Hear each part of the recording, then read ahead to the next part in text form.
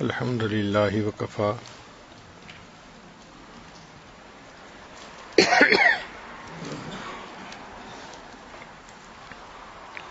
وسلام على عباده الذين اصطفى اما بعد۔ حکم ہے ربما دخل الرياء عليك من حيث لا ينظر الخلق إليك بسا اوقات ریا ایسی دقیق جگہ سے تمہارے اندر داخل ہوتی ہے کہ تمہیں اس کا پتہ بھی نہیں چلتا۔ دوسری کم میں فرمایا استشراف کا انیا علم الخلق بخصوصیت کا تمہارا خواہش کرنا کہ لوگوں کو تمہاری خصوصیات کا پتہ چل جائے دلیل علی عدم صدق کا فی عبودیت کا عبودیت میں آپ کے صدق کے اندر کمی ہونے کی دلیل ہے۔ یعنی یہ جو دل کے اندر خواہش آتی ہے نا، یہ اس بات کی دلیل ہوتی ہے کہ ہمارے اندر ریا موجود ہے۔ دین اسلام اتنا پاک دین ہے کہ اس نے کہا کہ ان اعمال بنیات اعمال کا مدار نیت پر ہے۔ لہذا اگر نیت خالص اللہ کی رضا ہوگی تو اللہ کی رضا ملے گی۔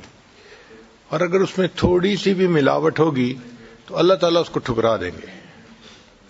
اللہ تعالیٰ کے ہاں خالص عمل چلتا ہے۔ اللہ دین الخالص۔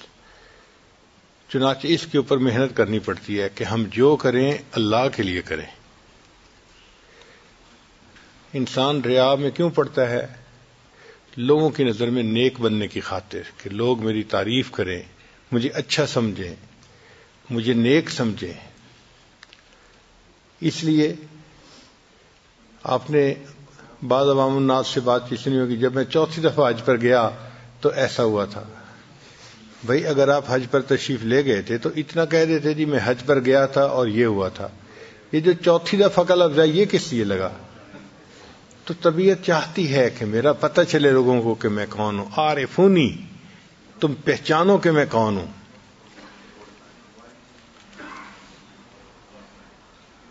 تو یہ انسان کا نفس ہے جو چاہتا ہے کہ میری تعریفیں ہوں اور مجھے پہچانا جائے اور میری تعریف کی جائے۔ اس لیے تعریف اچھی لگتی ہے۔ اور اگر ڈانٹ ڈپٹ کر دی جائے تو برا لگتا ہے۔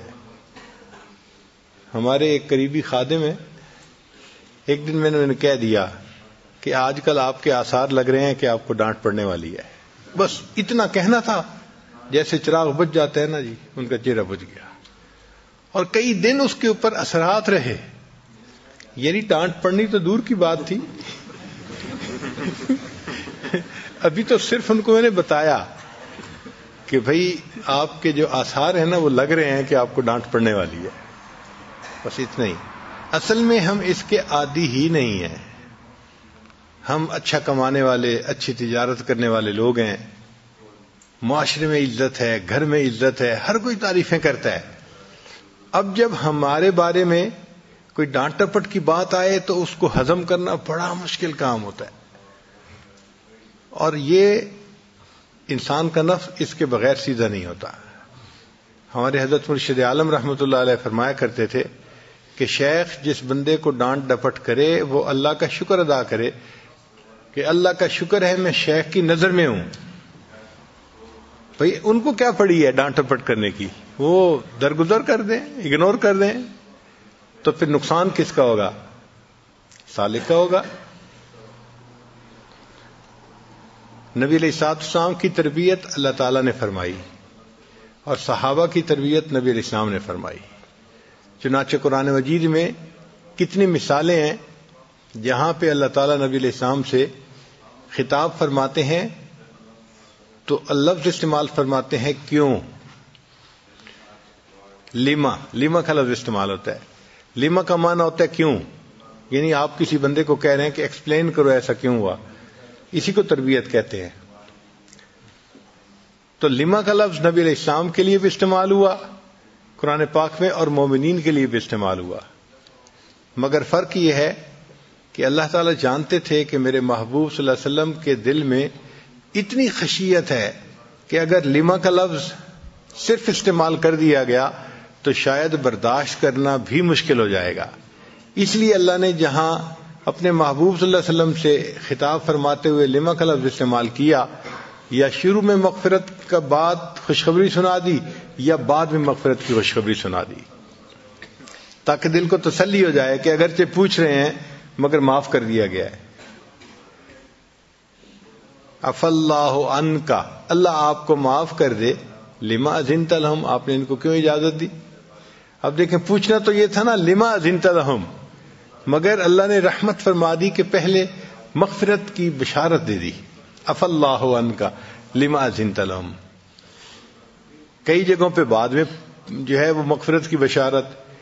یا ایوہ النبی لما تو ہر ما احل اللہ لک اے نبی علیہ السلاط اسلام آپ نے اس چیز کو کیوں حرام کیا جس کو اللہ نے حلال کیا؟ لما تو حرم ما احل اللہ لک تب تک ہی مردات ازواجک، کیا آپ نے بیویوں کی مرضی جو ہے اس پر عمل کرنا چاہتے ہیں؟ واللہ غفور الرحیم۔ ہاں اللہ غفور الرحیم ہے۔ تو یہ شروع میں مغفرت یا بعد میں مغفرت۔ مگر لیما کا لفظ استعمال ضرور فرمایا۔ تو یہ اللہ تعالیٰ نے تربیت فرمائی اپنے پیارے حبیب صلی اللہ علیہ وسلم کی۔ اور پھر نبی علیہ السلام نے صحابہ کی تربیت فرمائی۔ چنانچہ نبی علیہ السلام صحابہ کو روک ٹوک فرمایا کرتے تھے۔ نبی علیہ السلام تحجد کے وقت مسجد نبی میں تشریف لائے۔ تو دیکھا سیدنا صدیق اکبر رضی اللہ تعالیٰ نفل پڑھ رہے ہیں تحجد کے۔ مگر بہت ہی خفیہ آواز کے ساتھ تلاوت کر رہے ہیں۔ بہت ہی، جیسے ہوتا ہے نا، سری تلاوت کرنا، کہ دوسرے کو پتہ ہی نہ چلے، ایسے پڑھ رہے ہیں۔ اور قریب ہی حضرت عمر خطاب عنہ، وہ بھی تحجد کی نماز پڑھ رہے ہیں، مگر بلند جہر تلاوت کر رہے تھے، سن رہے تھے سب۔ جب دونوں نے نماز پڑھ لی، تو نبی السلام کی خدمت میں حاضر ہوئے۔ تو نبی السلام نے پوچھا، ابو بکر، آپ اتنا آہستہ کیوں پڑھ رہے تھے؟ تو جواب دیا، اے اللہ کے حبیب صلی اللہ علیہ وسلم، میں اس ذات کو سنا رہا تھا جو سینوں کے بھید جانتی ہے، مجھے اونچا پڑھنے کی کیا ضرورت تھی؟ جو ذات سینوں کے بھید جانتی ہے، مجھے اس کے سامنے اونچا پڑنے کی کیا ضرورت تھی؟ میں تو اس کو سنا رہا تھا۔ تو نبی نے فرمایا اچھا عمر، آپ اونچا کیوں پڑھ رہے تھے؟ اے اللہ کے حبیب صلی اللہ علیہ وسلم، میں سوتوں کو جگا رہا تھا اور شیطان کو بگا رہا تھا۔ تو نبی علیہ السلام نے پھر دونوں کو سمجھایا۔ اے ابو بکر، آپ تھوڑی سی آواز کو بلند کرو اور عمر لانوں کو فرمایا کہ آپ آواز کو تھوڑا اور نیچا کر لو۔ یعنی تربیت اسی کو کہتے ہیں نا کہ رات کے وقت بھی نبی علیہ السلام نے تربیت فرمائی۔ چنانچہ نبی علیہ السلاط السلام صحابہ کی تربیت فرماتے تھے اور یہ سلسلہ وہاں سے چلا اور قیامت تک یہ جاری رہے گا۔ اب ذکر و سلوک تو سیکھنا چاہتے ہیں۔ مگر یہ چاہتے ہیں کہ ہمیں ڈانٹ ٹپٹ کوئی نہ کرے، ہمیں کہے کوئی نہ، روک ٹوک کوئی نہ کرے۔ روک ٹوک کر دو تو بس پھر بھاگتے ہیں۔ وہ جیسے ایک بندے کو شوق ہوا کہ میں اپنے جسم پہ شیر بنواؤں۔ یہ انگریزوں میں جو جسم کے اوپر سیاہی سے نشان بنا دیتے ہیں، وہ جائز نہیں ہے، مگر ان کے کلچر میں ایک چیز ہے۔ تو ایک صاحب جو تھے وہ گئے۔ کہ جی میں نے تو شیر کا نشان بنوانا ہے اپنے جسم کے اوپر۔ تو اس کے لیے ایک نیڈل ہوتی ہے، وہ سکن کے اوپر لگاتے ہیں اور سیاہی سکن کے اندر جاتی ہے، مگر وہ تکلیف دہ ہوتا ہے عمل۔ چنانچہ اس نے لگائی، اس کو تکلیف ہوئی، تو یہ پوچھتے کیا کیا بنا رہے ہو؟ اس نے کہا کہ شیر بنا رہا ہوں۔ کہتے شیر کا کون سا حصہ بنا رہے ہو؟ اس نے کہا دم بنا رہا ہوں۔ کہتے اچھا بغیر دم کے شیر بنا دو۔ پھر اس نے نیڈل لگائی۔ تو پھر پوچھا، بھائی، اب کیا بنا رہے ہو؟ اس نے کہا، کان بنا رہا ہوں۔ کہتے، بغیر کان کے شیر بنا دو۔ کرتے کراتے ایک ایسا وقت آیا کہ گویا کوئی چیز شیر کی بنی ہی نہیں، ایسا شیر بنایا کہ جس میں کچھ بنانا ہی نہ پڑے۔ تو ہم بھی ایسے سالک ہیں کہ شیخ سے یہ تو توقع کرتے ہیں کہ ہمیں روک ٹوک کریں، لیکن وہ پھر برداشت نہیں ہوتی۔ اور پھر آگے سے لاجکس پیش ہوتی ہیں۔ ہمارے حضرت رحمت اللہ علیہ فرمایا کرتے تھے کہ بلا وجہ اگر کوئی شیخ کسی بندے کو جوتے مارے، تو اس بندے کی ذمہ داری بنتی ہے کہ جوتا اٹھا کے پھر اپنے شیخ کو واپس دے۔ بلا وجہ اگر جوتے مارے تو جوتا اٹھا کے پھر دوبارہ اپنے شیخ کو پکڑائے کہ جی یہ آپ لے لیجیے۔ چنانچہ ہمارے حضرت مرشد عالم رحمۃ اللہ علیہ خوب ڈانٹ ڈپٹ کرتے تھے اور فرمایا کرتے تھے کہ جو شیخ ڈانٹ ڈپٹ کرتا ہے تو مریدین کی اصلاح زیادہ ہوتی ہے اور جو ان کی رعایت کرتا ہے تو مریدین کے عیب ٹھیک سیدھے نہیں ہوتے۔ چنانچہ کئی مرتبہ حضرت بھرے مجمے میں کسی بندے کو کھڑا کرتے تھے اور ڈانٹ دیتے تھے۔ اور فرماتے تھے کہ اب تمہارے لیے اس کو ہضم کرنا ذرا مشکل ہوگا، مگر تمہارا فائدہ اسی میں ہے۔ اور خوب بندے کی جو ہے نا انا ٹوٹتی تھی، اور بندے کے اندر آجزی آتی تھی۔ ایک مرتبہ ہمارے حضرت رحمت اللہ کے پاس ایک آدمی آیا جو لگتا ہے کہ نیا بندہ تھا۔ وہ کسی شہر میں کوئی فیکٹری اونر تھا۔ حضرت کے پاس آ کے بیٹھا۔ تو بات چیت کر رہا تھا۔ ہم لوگ خانقاہ کے کسی کام میں لگے ہوئے تھے۔ فارغ ہوئے تو ہم بھی حضرت کی خدمت میں حاضر ہو گئے۔ اب جیسے ہی میں آ کے بیٹھا تو حضرت تو غصے ہونا شروع ہو گئے۔ تمہیں اللہ سے کوئی ڈر نہیں ہے، تمہیں اللہ سے کوئی شرم نہیں ہے۔ تم پانچ وقت کی نمازیں نہیں پڑھ سکتے۔ تم نظر کی حفاظت نہیں کرتے، تم فلاں نہیں کرتے، تم سود کے کام کرتے ہو، تم فلاں کام۔ اچھا شروع میں تو میں تھوڑی دیر کے لیے کنفیوز سا ہوا کہ فرض نمازیں نہیں پڑھتے اور سود کھاتے ہو اور یہ۔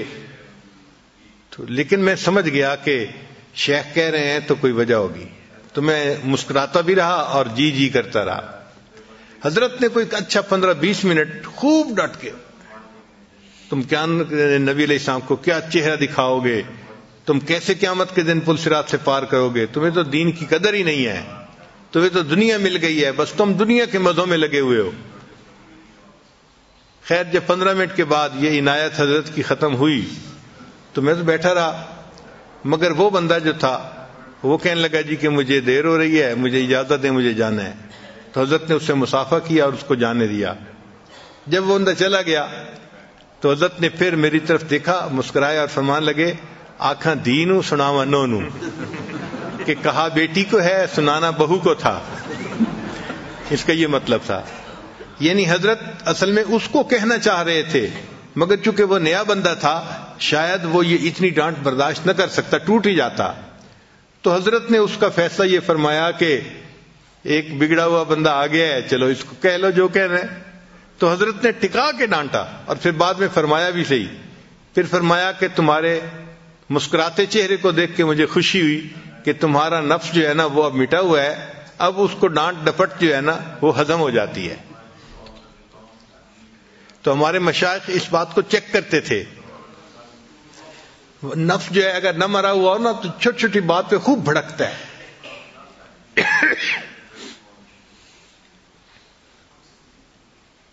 حضرت حاجی امداد اللہ مہاجر مکی رحمت اللہ علیہ ایک مرتبہ کسی صاحب کے ہاں دعوت پر تشریف لے گئے۔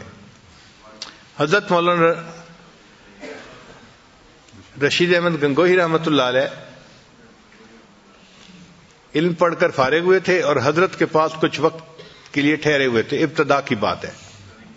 تو حضرت نے انہیں بھی ساتھ لے لیا۔ ایک اور بزرگ بھی تھے، شاید حضرت مولانا فضل الرحمان گنج مراد آبادی رحمت اللہ علیہ تھے۔ یہ حضرات جب مہمان کے، میزبان کے گھر پہنچے تو اس اللہ کے بندے نے دسترخوان پہ خوب کھانے بنائے ہوئے تھے۔ چنانچہ کئی قسم کے کھانے عام دستور تو یہی ہے کہ اندھا ایک کھانا بنا دے تو ایک قسم کا کھانا کافی ہوتا ہے، مگر اکرام ہوتا ہے۔ حضرت حاجی صاحب تشریف لائے تو حضرت تھانی رحمت اللہ علیہ نے معلوم نہیں کتنی پلیٹیں ان کے سامنے رکھی شاید چالیس سے زیادہ پلیٹوں میں کھانا رکھا ان کے سامنے۔ ایسا کیوں کیا؟ بھائی یہ اسراف نہیں، بلکہ نہیں معلوم کہ جو آنے والا مہمان ہے، اس کی طبیعت کو کیا چیز مناسب ہو۔ لہذا کئی سارے کھانے بنوا دیے اور سامنے رکھ دیے۔ جو ان کو پسند آئے گا، وہ کھانا کھا لیں گے۔ جو بچ جائے گا، تو میزبان کی عید ہو جائے گی۔ تو اس نیت سے متعدد کھانے بنا دیے جاتے ہیں اور یہ شرن جائز ہیں۔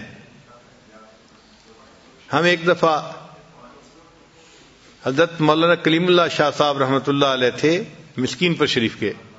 تو ان کے ساتھ گئے کسی جگہ۔ اس بندے نے بڑی دعوت کے لیے حضرت کو مجبور کیا۔ تو چلے گئے۔ اللہ کی شان کے اس بندے نے ساگ بنایا ہوا تھا۔ اب ساگ اس نے بنایا ہوا تھا اور ڈاکٹر کہتے ہیں کہ ساگ کے اندر یورک ایسڈ ہوتا ہے تو جوڑوں کی درد کے لیے ٹھیک نہیں ہے اور حضرت کو جوڑوں کا درد ان دنوں خوب زیادہ تھا۔ چنانچہ انہوں نے کھانا کھایا ہی نہیں اور اسی طرح خالی پیٹ ہی دسترخوان سے اٹھ گئے۔ پھر بعد میں میں نے پوچھا کہ حضرت، آج تو آپ نے کچھ بھی نہیں کھایا؟ تو فرمایا کہ دیکھو بھائی، میزبان کی اتنی حیثیت تھی، اس نے ساگ بنایا تھا میں کھا لیتا مگر مجھے ڈاکٹر نے منع کیا ہوا ہے، تو میں کیا کرتا؟ تو ایسا پاسبل ہے کہ آپ کوئی کھانا بنائیں اور وہ ان کی طبیعت کو موافق نہ ہو، تو اس لیے پھر کئی سارے کھانے بنا دیتے ہیں کہ جو موافق ہوگا وہ کھا لیں گے۔ ہمیں ایک مرتبہ اس بات پر عمل کرنے کا بڑا فائدہ ہوا۔ گرمی کا موسم تھا اور اچانک حضرت بغیر اطلاع کے تشریف لے آئے اساجز کے یہاں۔ ہماری تو عید ہو گئی کہ حضرت تشریف لے آئے۔ تو میں نے گھر والوں کو کہا کہ جلدی سے پانی بھی دے دیں ٹھنڈا، اور اس کے ساتھ کوئی شربت ہے تو وہ بھی بنا دیں، گرمی کا موسم ہے۔ تو گھر والوں نے مجھے کہا کہ حضرت کو تو شوگر ہے۔ میں نے کہا شوگر ہو صحیح، لیکن آپ بنا دیں، میں حضرت کے سامنے جا کے رکھ دوں گا۔ اللہ کی شان، انہوں نے پانی بھی ٹھنڈا، برف والا دے دیا، اور بادام کا شربت بھی بنا دیا، اور ساتھ کوئی ملک شیک بھی بنا دیا۔ میں کئی سارے مشروب لے کے حضرت کی خدمت میں حاضر ہوا اور نیت میری یہی تھی کہ حضرت کو جو موافق ہوگا، پسند ہوگا، لے لیں گے۔ ہم ایکسپیکٹ نہیں کر سکتے تھے۔ جیسے ہی حضرت نے مشروبات دیکھے، حضرت نے بادام کا شربت کا گلاس لیا اور اس کے پیا۔ اور مجھے کہنے لگے کہ ایک گلاس اور لے آؤ۔ میں ایک گلاس اور لے آیا۔ پھر بعد میں فرمانے لگے کہ جب میں تمہارے گھر کے قریب پہنچ رہا تھا تو میری شوگر بہت لو ہو رہی تھی۔ اور میرا دل چاہتا تھا کہ مجھے کوئی میٹھی چیز کھلائے۔ لیکن میں کسی کو کچھ کہہ نہیں سکتا تھا۔ تو اللہ نے تمہارے دل میں بات ڈالی کہ تم میرے لیے میٹھی چیز لے کے آئے، ورنہ عام طور پہ میٹھی چیز لوگ پیش نہیں کرتے۔ تو حضرت نے دو گلاس جو ہے بادام کا شربت پیا، تب شوگر صحیح ہوئی اور حضرت کو جو بہت پسینے آ رہے تھے نا، وہ تب ختم ہوئے۔ تو کئی مرتبہ ایسا ہوتا ہے کہ میز مہمان کو کیا چیز موافق ہے، پسند ہے، مہمان کو پتہ میزبان کو پتہ نہیں ہوتا، تو اس نیت سے پھر زیادہ کھانے بنا دیے جاتے ہیں۔ خیر، اس میں میزبان نے بھی ایسے ہی کیا تھا کہ حضرت حاجی امداد اللہ مہاجر مکی رحمت اللہ علیہ کے لیے خوب دسترخوان پہ بہت سارے کھانے بنا دیے تھے۔ گوشت بھی بنا دیا، پلاؤ بھی بنا دیا، دال بھی بنا دی، سبزی بھی بنا دی، کئی ساری چیزیں بنا دی۔ جب وہاں جا کر بیٹھے تو حضرت حاجی صاحب نے ایک خالی پلیٹ اٹھائی اور اس کے اندر تھوڑی سی دال ڈالی اور دو چپاتیاں اٹھا کے حضرت گنگوہی کو دیں اور فرمایا کہ آپ دسترخوان کے کونے پہ بیٹھ کے کھا لیجیے۔ اب حضرت گنگوئی رحمت اللہ علیہ دسترخوان کے کونے پر بیٹھ کے دال روٹی کھا رہے ہیں۔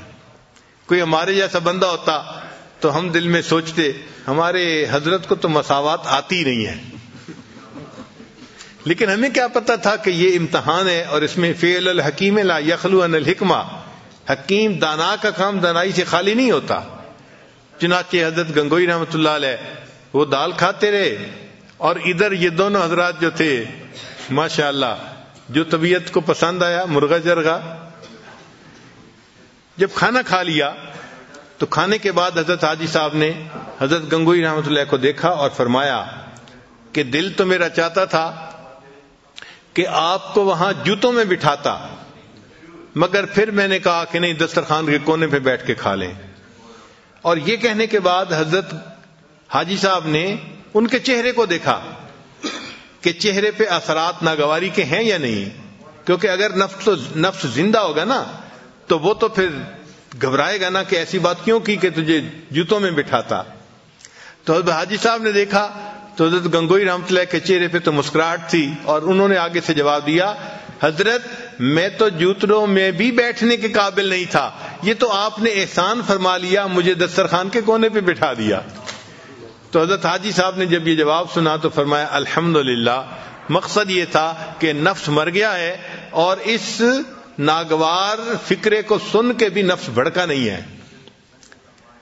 تو یہ جو ہے نا، نفس کا بھڑکنا، یہ بڑی مشکل سے انسان کو نصیب ہوتا ہے۔ ورنہ تو چھوٹی چھوٹی باتوں پہ نفس بھڑکتا ہے، غصے میں آج اور اس کے لیے یہ ڈانٹ ڈپٹ ضروری ہوتی ہے۔ اور اس سے جب انسان کا نفس مرتا ہے، تو پھر اس کے اندر ریاکاری نکل جاتی ہے۔ شو آف وہ پھر کسی کے لیے کچھ عمل نہیں کرتا، صرف اللہ کی رضا کے لیے عمل کر رہا ہوتا ہے۔ جس بندے نے کوئی عمل ریا کے بغیر کیا، دکھاوے کے بغیر کیا، وہ عمل اس کے لیے جنت میں جانے کا سبب بنے گا۔ ہم نے دیکھا ہے کہ ڈائمنڈ جو ہوتے ہیں نا، ان کی قیمتیں ویری کرتی ہیں۔ کچھ ڈائمنڈ جن کے اندر فالٹ ہوتا ہے، کوئی نشان ہوتا ہے کسی قسم کا، تو ان کی قیمتیں بہت تھوڑی ہوتی ہیں۔ اور ایک ڈائمنڈ کو کہتے ہیں فلالیس ڈائمنڈ اس میں کوئی فلا نہیں ہوتا، وہ بالکل شفاف چیز ہوتی ہے۔ اس کی قیمت بہت زیادہ ہوتی ہے۔ تو ڈائمنڈ کے کاروبار والے لوگ کہتے ہیں کہ فلالس ڈائمنڈ کی قیمت کوئی متعین نہیں کر سکتا، کچھ بھی ہو سکتی ہے۔ چنانچہ وہی ڈائمنڈ آپ کو پانچ ہزار ڈالر کا بھی مل جائے گا۔ اور اگر وہ فلالس ہے، تو وہی پچاس ہزار ڈالر کا بھی مل جائے گا۔ ایک مرتبہ میں نے کسی جیولر کے سامنے یہ بات کر دی۔ وہ کہنے لگا، حضرت، آپ پچاس ہزار کی باتیں کرتے ہیں، وہی ڈائمنڈ پانچ لاکھ ڈالر کا بھی نہیں ملتا اگر فلالس ہو۔ اتنی قیمت بڑھ جاتی ہے۔ تو بھائی، دنیا میں اگر ایک فلالس ڈائمنڈ ہے اور اس کی قیمت پانچ ہزار سے پانچ لاکھ ڈالر چلی جاتی ہے، تو اللہ تعالیٰ کے یہاں بھی یہی دستور ہے۔ کہ جو عمل فلالس ہوتا ہے، اس میں کوئی دکھاوا نہیں ہوتا، تو اللہ کے ہاں بھی اس کی قیمت بہت زیادہ ہو جاتی ہے۔ اللہ تعالیٰ بھی اس کا بہت زیادہ اجر عطا فرما دیتے ہیں۔ تو ہمیں چاہیے کہ ہم جو عمل بھی کریں، اللہ کی رضا کے لیے کریں، مخلوق کے دکھاوے کے لیے نہ کریں۔ اچھا مخلوق کے دکھاوے سے ملتا کیا ہے؟ کسی نے کہہ دیا جی آپ بڑے نیک ہیں، آپ بڑے اچھے ہیں، آپ بہت اعلی ہیں اس دو چار لفظ کو سن کر انسان کا اگر عمل ضائع ہو جائے تو اس نے کیا پایا؟ ہم نے ایک مرتبہ اس کا تجربہ ہوا۔ ہمارا ایک انجینئر تھا اور اس کو گھر میں کوئی ضرورت پیش آ گئی۔ تو وہ بیچارہ کافی پریشان حال تھا اور اپنے چیف انجینئر کے پاس آیا اور کہہ رہا تھا کہ، سر، آپ نہ مجھے ایڈوانس تنخواہ دے دیں، میں اپنے گھر کے خرچے پورے کر لوں، میں بہت پریشان ہوں۔ اچھا ابھی وہ یہ ایڈوانس تنخواہ کی بات کر ہی رہا تھا کہ اتنے میں اکاؤنٹس برانچ کا بندہ آ گیا جو کیشیئر ہوتا ہے۔ کیشیئر نے اس کو کہا، یار، میں نے تمہارا ایک ووچر دیکھا ہے، پڑا ہوا تھا۔ اب ووچر جو بنتا ہے اکاؤنٹس برانچ میں، اس کا مطلب یہ کہ اس ووچر پہ جو پیسے بنتے ہیں، اس بندے کو وہ ادا کر دیے جاتے ہیں۔ کوئی ٹی اے، ڈی اے تھا یا کوئی اور چیز تھی۔ چنانچہ اس نوجوان نے جب سنا نا کہ میرا ووچر پڑا ہوا ہے، تو وہ بڑا خوش ہو گیا کہ اچھا مجھے کچھ پیسے مل جائیں گے۔ چنانچہ اسی وقت چھٹی لے کے وہ گیا اور چار پانچ منٹ کے بعد واپس آیا تو چہرہ بجھا ہوا تھا۔ تو میں نے اس سے پوچھا، کیا ہوا؟ کہنے لگا، حضرت، وہ ایک پرانا ووچر اس کے پاس پڑا ہوا تھا۔ جب میں نے جا کے دیکھا تو اس کے اوپر پیڈ کی سٹیمپ لگی ہوئی تھی۔ یعنی یہ پہلے پے ہو چکا ہے، پرانا تھا۔ تو اب تو نہیں مل سکتا تھا کچھ۔ تو اس دن مجھے احساس ہوا کہ واقعی جس ووچر کے اوپر پیڈ کی سٹیمپ لگ جائے، پھر بندے کو کچھ نہیں ملتا۔ بالکل اسی طرح ہے۔ انسان بڑے سے بڑا نیک عمل کرتا ہے اور کسی نے کہہ دیا، آپ نے بڑا اچھا کیا، آپ تو بڑے نیک ہیں، آپ تو بڑے آلے ہیں۔ یہ جو بڑا اچھا بڑا آلہ بڑا یہ سارا، یہ سب سٹیمپس ہیں۔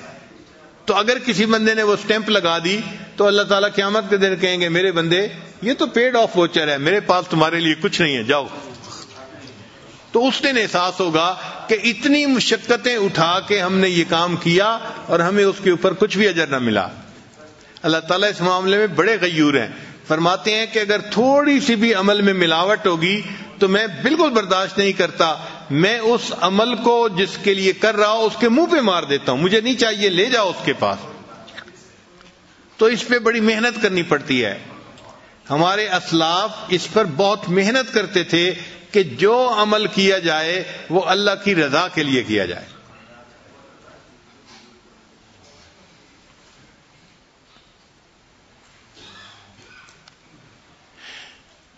چنانچہ ایک مرتبہ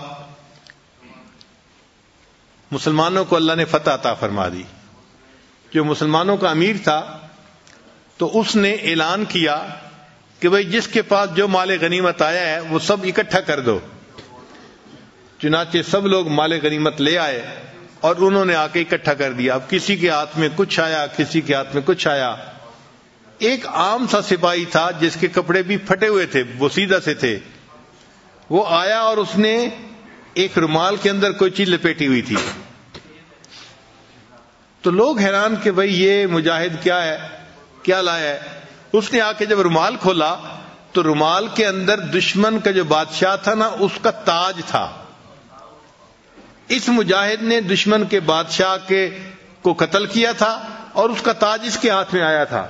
اور اس کا پتہ پوری فوج میں کسی کو بھی نہیں تھا۔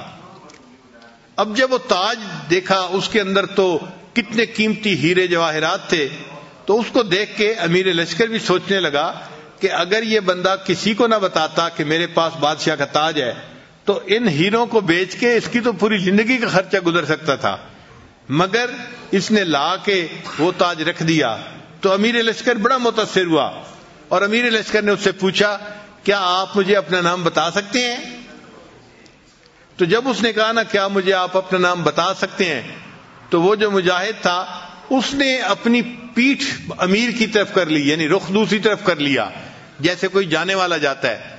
رخ دوسری طرف کر لیا اور دو چار قدم اٹھائے اور یہ جواب دیا، جس اللہ کو راضی کرنے کے لیے میں نے یہ کام کیا ہے، وہ میرا بھی نام جانتا ہے، میرے باپ کا بھی نام جانتا ہے۔ اس طرح خالص اللہ کے لیے عمل کرتے تھے، اللہ کو راضی کرنے کے لیے۔ اس نے امیر لشکر کو نام بتانا بھی اپنا پسند نہیں کیا۔ تو ہم اس پر محنت کریں، انشاءاللہ اللہ اللہ تعالی ہم پر رحمت فرمائیں گے، ورنہ ریاکار بندہ قیامت کے دن بڑی مشکل میں ہوگا۔ آپ سوچئے، بخاری شریف کی روایت ہے کہ قیامت کے دن سب سے پہلے تین بندے جو جہنم میں ڈالے جائیں گے، یہ کون ہوں گے؟ نہ شرابی ہوگا، نہ کوئی زانی ہوگا، نہ کوئی ڈاکو ہوگا۔ یہ گناہ کرنے والے لوگ نہیں ہوں گے، نیک لوگ ہوں گے۔ کون سے لوگ ہوں گے؟ حدیث پاک میں ہے اللہ تعالیٰ ایک عالم کو بلائیں گے اور پوچھیں گے کہ تو نے دنیا میں کیا کیا؟ وہ کہے گا، اللہ، میں نے تو بڑے مدرسے بنائے اور بڑا پڑھایا علم اور خوب پھیلایا اور دین کا کام کیا۔ اللہ تعالیٰ فرمائیں گے، تو یہ سب اس لیے کرتا تھا کہ لوگ تجھے بڑا عالم سمجھیں۔ فقد کیل تجھے لوگوں نے بڑا عالم کہہ دیا۔ لہذا یہ ووچر پے آف ہو گیا۔ میرے پاس کچھ بھی نہیں ہے۔ پھر دوسرا آئے گا وہ تاجر ہوگا۔ اللہ پوچھیں گے، بھائی، کیا کیا؟ یا اللہ، میں نے تو اتنے مدارس بنائے اور اتنا یہ کیا اور اتنا وہ کیا، سخی بندہ ہوگا۔ اللہ فرمائیں گے، تو اس لیے کرتا تھا کہ تجھے بڑا سخی کہا جائے، فقط کیل، تجھے بھی کہہ دیا گیا، میرے پاس کچھ نہیں ہے اس کا جر پھر تیسرا بندہ مجاہد ہوگا۔ میرے بندے، کیا کیا؟ اے اللہ، میں نے تو اپنی جان قربان کر دی تھی آپ کے دین کے لیے۔ اللہ فرمائیں گے، تو اس لیے جو ہے، وہ لڑا کہ لوگ تجھے بڑا بہادر کہیں۔ اور لوگوں نے تجھے بہادر کہہ دیا، اس لیے میرے پاس اب تمہارے لیے کچھ نہیں ہے۔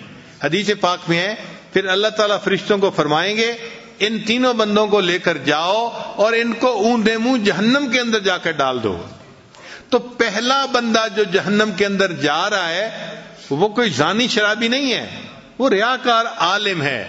ریاکار سخی ہے، ریاکار مجاہد ہے۔ یعنی نیک کام کرنے والے لوگ ہیں۔ تو یہ تو بڑی ڈرنے والی بات ہے نا کہ زندگی نیکی میں گزری اور جہنم میں جانے میں سب سے پہلے۔ اس سے ہمیں بہت ڈرنا چاہیے اور اپنے اعمال پر نظر رکھنی چاہیے اور نیت کو بار بار ایڈجسٹ کرتے رہنا چاہیے کہ ہم کس کے لیے کر رہے ہیں۔ ہمیں جو کام کرنا ہے، اللہ کے لیے یہ کام کرنا ہے۔ ہر کام اللہ کے لیے کرنا ہے۔ اللہ تعالیٰ ہمیں اخلاص والی نعمت عطا فرما دے۔ خالص چیز کی دنیا میں بھی قیمت زیادہ ہوتی ہے۔ آپ مارکیٹ میں جائیں نا، کسی کو کہیں جی مجھے خالص چیز چاہیے، وہ قیمت زیادہ مانگے گا۔ تو بھئی خالص چیز کی دنیا میں بھی قیمت زیادہ ہے اور خالص عمل کی اللہ کے ہاں بھی قیمت زیادہ ہے۔ اللہ تعالیٰ بھی اس پر خوب انسان کو اجر عطا فرماتے ہیں۔ اللہ تعالیٰ ہمیں اخلاص والی زندگی گزارنے کی توفیق عطا فرمائے۔ وآخر دعوانا ان الحمد للہ رب العالمین۔ تھوڑی دیر کے لیے مراقبہ کر لیجیے۔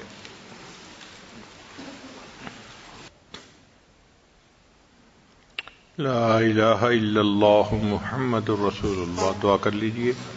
سبحان ربی العلوہاب اللہم صلی علی سیدنا محمد وعلا آل سیدنا محمد وبارک وسلم۔ رب کریم، ہم آپ کے عاجز مسکین بندے ہیں، ہمارے گناہوں کو معاف فرما، خطاؤں سے درگزر فرما، عیبوں کی پردہ پوشی فرما، اے اللہ جو گناہ دن میں کیے معاف فرما، جو راتوں میں کیے معاف فرما، جو محفل میں کیے معاف فرما، جو تنہائیوں میں کیے معاف فرما، اے اللہ جو گناہ ارادے سے کیے وہ بھی معاف فرما، جو بن ارادے کے ہوئے وہ بھی معاف فرما، اے اللہ جو گناہ یاد ہیں وہ بھی معاف فرما جو کر کے بھول گئے، وہ گناہ بھی معاف فرما۔ اے اللہ، معصیت کی ذلت سے محفوظ فرما اور ہمیں طاعات کی عزت نصیب فرما۔ اے اللہ، ہم جو نیک کام کرتے ہیں، وہ بھی کسی اچھی کوالٹی کا نہیں۔ اے اللہ، ہم پر رحمت کی نظر فرما دیجیے۔ اے اللہ، ہمارے ٹوٹے پھوٹے عملوں کو قبول کر لیجیے۔ رب کریم، ہم پر رحمت کی نظر فرما۔ ہمارے ان اعمال کو شرف قبولیت عطا فرما۔ اے رب کریم، ہمیں اخلاص والی زندگی نصیب فرما۔ اے اللہ اخلاص والی زندگی گزارنے کی توفیق عطا فرما۔ اے رب کریم، ہماری اصلاح فرما۔ ہمیں نفس اور شیطان کے مکر و فریب سے محفوظ فرما۔ ربنا تقبل منا انکا انت السمیع العلیم۔ تب علینا انکا انت التواب الرحیم۔ صلی اللہ تعالی علی حبیبہ، سیدنا محمد و آلہ و اصحابہ اجمعین۔ برحمتک یا ارحم الراحمین۔ یا ارحم